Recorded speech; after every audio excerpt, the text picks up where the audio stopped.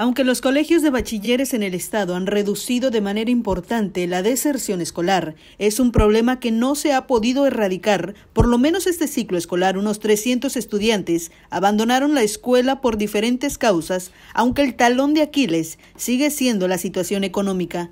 Isaías Rodríguez González, director general del Colegio de Bachilleres, resaltó el número de ingresos histórico que han tenido, así como la reducción que han alcanzado en el número de estudiantes que han abandonado sus estudios. Ahorita en este año tiene un total de 19.117 estudiantes. Por primera ocasión en toda la historia del Colegio de Bachilleres alcanzamos este número de estudiantes.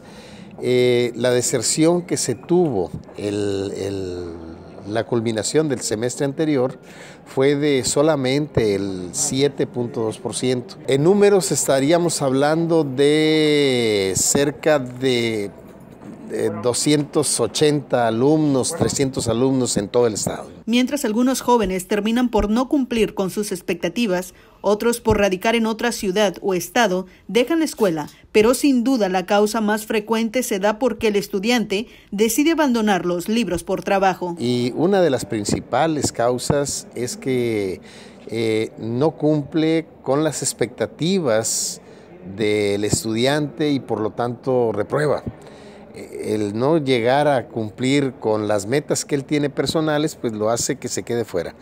Otra, y que es muy importante, pues es la parte económica. En algunas de nuestras comunidades, nuestros jóvenes prefieren irse a trabajar que quedarse a estudiar y pues eso les, les reditúa más a ellos. ¿no?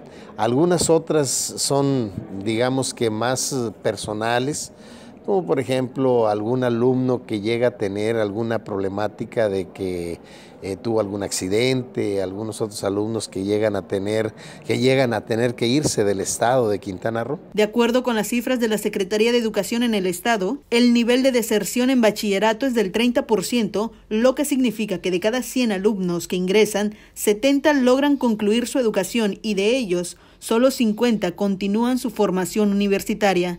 Para Notivisión, Rosy Dorado.